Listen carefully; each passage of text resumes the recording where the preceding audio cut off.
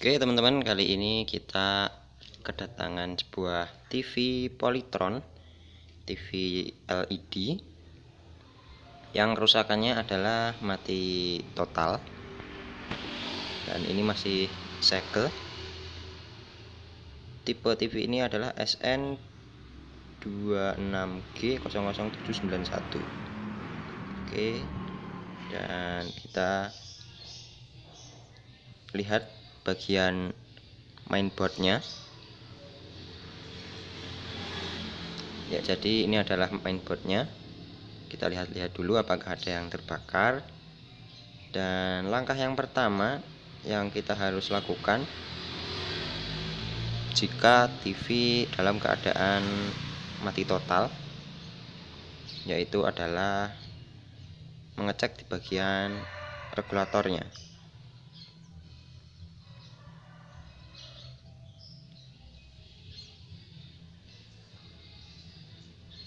ya ini kita mengecek di bagian regulator. Mungkin yang rusak adalah ini fatnya. Karena kebanyakan nah ini fatnya sudah kita ukur dan ternyata fatnya rusak. Ya jadi terjadi karena dioda short tapi dalam kasus yang kali ini itu yang rusak ternyata fatnya fatnya sudah kita copot dan kita akan mencari fat yang baru.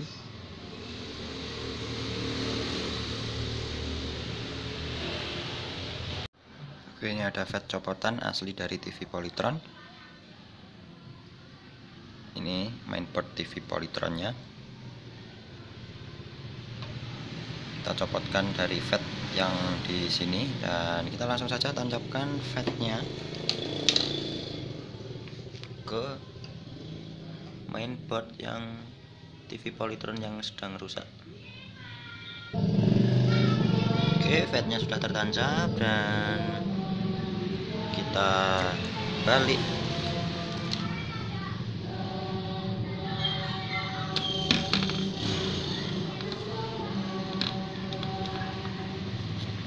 ingat di sini ada pet-petnya.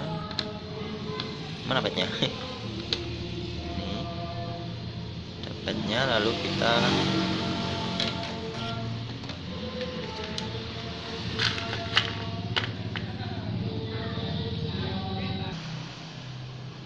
oke kita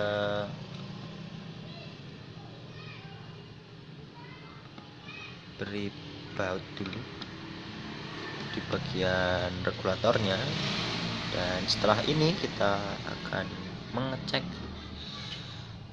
Oke lalu kita cek tancapkan ke listrik. Apakah trip MCP masih trip atau tidak?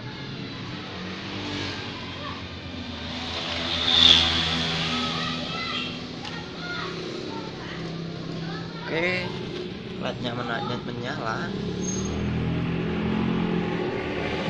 led menyala. Dan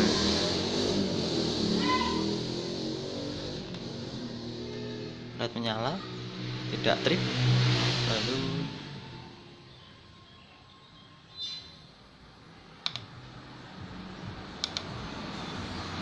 oke. Berkedip. Dan oke TV nya menyala TV nya menyala. Kalian bisa lihat. Nah TV nya menyala dengan normal. Lalu kita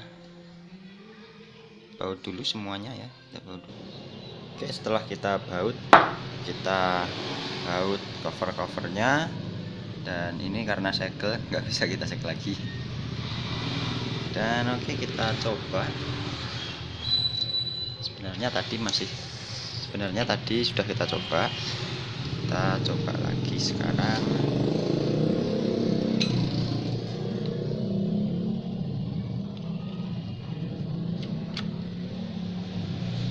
Oke MCB tidak trip. Listrik masih normal. Kita pencet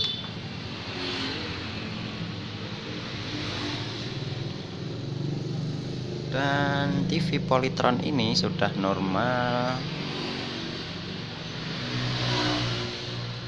Channel 27 oke oke jadi kerusakannya adalah fatnya